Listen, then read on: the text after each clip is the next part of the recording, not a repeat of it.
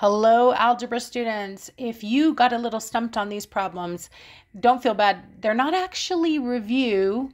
Um, even though they involve the concepts we've seen before, I'm pushing you just a little bit further. So thanks for joining me. Let's take a look.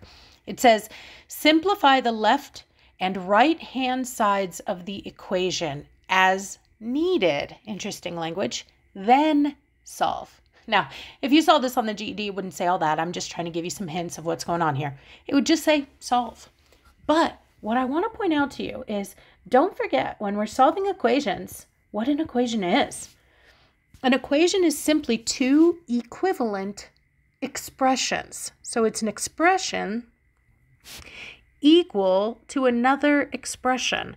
It's kind of like what you guys think of as a math problem. So two problems set equal to each other. Now, that being said, if there's any straightforward math you can do, like if you can obey any of the symbols on either side, do it. It makes your life easier before you start solving. So, the way you're going to look at these more complicated equations as we go further and further into algebra is you'll look at just one side at a time, like just the left hand side or just the right hand side, like it's a single solitary problem and do any of the math you know how to do. And then once you've done that, if there's anything else you can do, then you'll start that lovely solving where we move backwards. So let's take a look at this guy. We've got these two sides. Obviously, there's nothing to do over here on the right. It's just a plain old number 42. But if you look on the left, there's some of the simplifying we've been practicing we know how to add 2x and 5x. We learned that we can combine like terms. It's just like I have two xylophones and five xylophones. I have no idea why I collect xylophones. I'm a weirdo. But nonetheless, if I did, I would have seven xylophones. 2x plus 5x is just 7x.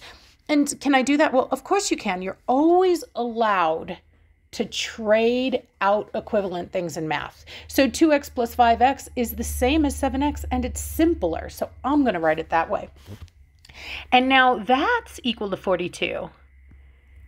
And now that I simplified that left-hand side, this sucker's a lot easier to solve. I can see it's just a one-step equation. I just have to get rid of a single solitary number in order to get x alone. So now's the time to start solving. Now that it's as simple as it's going to get, I'm going to work backwards here on both sides of the equation to get x alone. So 7 is multiplying by x, so I will do the opposite. I will divide. And now's the time when I do things twice on either side of the equal sign. It's when I start being disobedient to the symbols. So multiplying by 7 and dividing by 7 cancel because they're opposites. x is alone just like I wanted. And there's the math to do, and you can do it in your calculator. 42 divided by 7 is 6. X is alone. This is solved. Look at the next example. 92 is equal to 8y minus 6y. Again, for us new and struggling students, put that line through that equal sign and examine the sides one at a time. So just examine the left-hand side. Is there any work to do? Well, no, I, I can't make that any simpler, guys. Right? 92 is 92 is 92. But on the right-hand side, that I can make simpler. So if I can, I should. 8y minus 6y. I have 8 yaks and I take away 6 yaks you guys, my yaks, they play the xylophone. But anyway, I would just have two yaks. So 8y minus 6y is equal to 2y. And that's going to be equivalent to whatever I get on the left-hand side, which in this case is 92. And now that I made the left and right hand simple, like they're not going to get any simpler, right? Nothing I can do with 92. I can't multiply together 2 and y since y is a mystery number. But now that I've made them as simple as I can get them, now it's going to be pretty straightforward to solve. All I need to do is get y alone. So what number's hanging out with y? It's this 2. Let's get rid of him. We'll get rid of him by doing the opposite. He's multiplying, we'll divide. Now we can do that. We can do that disobeying if and only if we keep the two expressions, the left and the right hand side of this equation, the two expressions, equivalent by doing the exact same thing. So multiplying by 2 and dividing by 2 are opposites. They cancel. I get y by itself just like I wanted.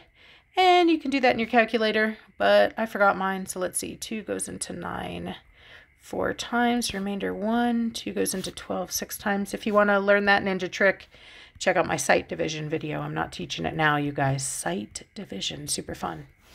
All right, and I get the final answer of 46 is equal to y. Now, that's the same as y equals 46. If that's what the answer key says, don't lose your mind. But it is fine to write it that way. It means the same thing.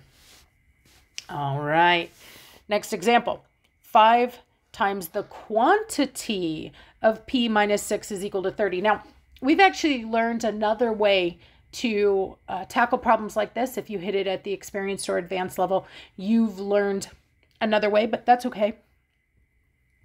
I just want to point out to you that this 5 here is shoved up against this p minus 6 on the left-hand side, and we have learned how to simplify things like that. We've learned to do this multiplication even when I can't do the addition or subtraction inside, I can still do the multiplication by passing it out to every term.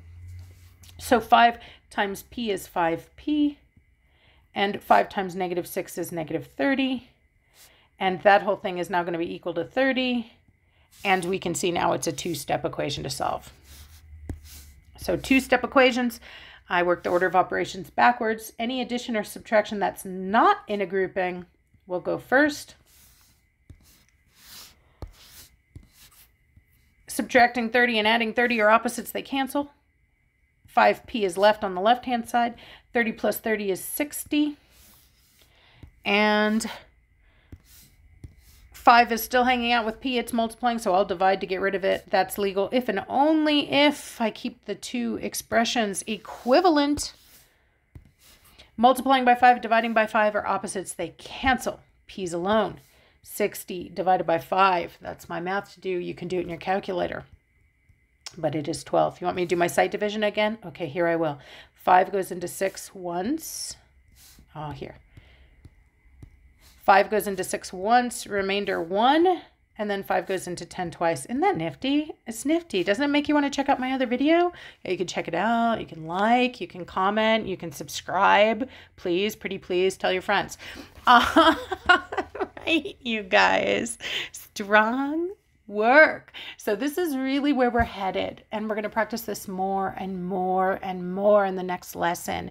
This idea that you can simplify and solve in the same problem. So you really have to keep your rules straight. When am I doing what? All right. Happy learning.